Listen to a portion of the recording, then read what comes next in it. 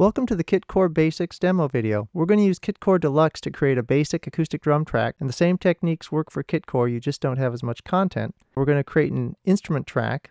We use instrument tracks because Kitcore is an AU, VSTI, and RTAS virtual instrument. And we're going to insert the Kitcore plugin. So there's my instrument track. Now we'll add Kitcore and we're going to add it as a stereo virtual instrument, but of course it can also be multi-channel so you can route your kick drum, your snare, and the other pads into your host for processing and mixing. There's 24 pads of kit sounds and also 24 percussion sounds for a total of 48 different sounds. And now we're going to go find some beats. Within the Groove browser, you can search by drummer. Here you'll find Matt Sorum of Velvet Revolver, Sly Dunbar from Bob Marley, or in this case Alan White of Yes, and a lot of other great drummers represented. Kitcore Deluxe includes over 100 drum kits and over 3,000 MIDI files. Also, you can go in and look by music style or genre, so if you just want a rock beat, a country beat, or a funk beat. And all the content is arranged into groove sets, which is a song style format where the drummer sits down and plays basic grooves, verse chorus variations, and fills based on their sensibilities. Kitcore will also let you search based on feel, so if you're looking for a shuffle or in this case a straight eighth type of feel, you can find it quickly. And there's even a view area up above the play button there where you see the actual MIDI data, so you can tell how dense and busy a part is even before you click on it. So here I'm looking at the Alan White Brown-esque groove set, and you'll notice there's all those variations.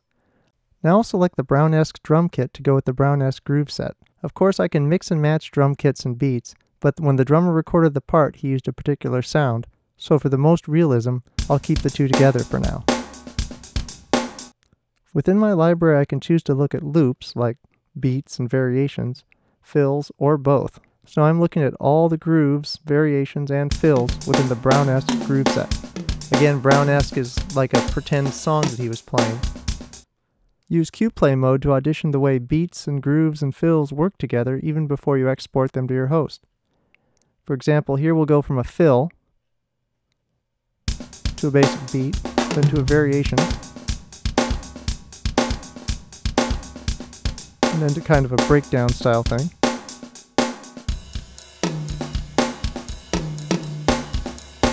And then to a ride pattern. So we have a great sense of how everything works even before we export them. So now we just drag and drop those parts we found over to a track.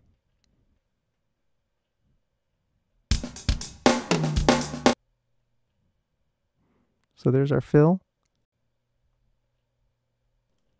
Here's our basic beat.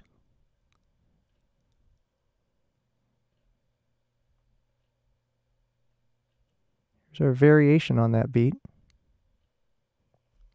And remember that I auditioned all these using QPlay mode even before I exported them, so I knew they'd work well together.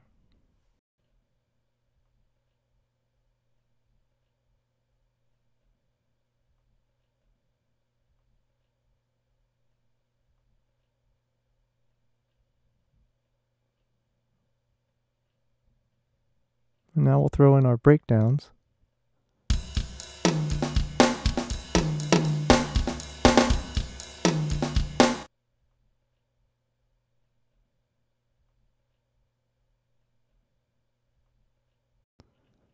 And now we'll just roll it all back and listen to it. So we start with our fill. The groove, the variation on it. Do that all over again.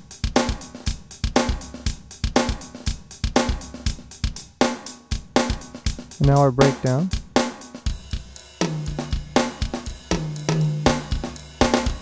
And then to our ride pattern, which could be a chorus or something.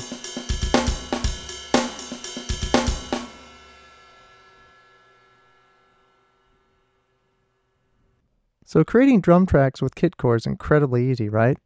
So make sure you check out our other videos on the website, especially the one that shows how to add Latin sounds and electronic sounds because Kitcore is a lot more than a basic 5-piece drum set. Kitcore Deluxe. Great sounds. Huge variety. No fuss.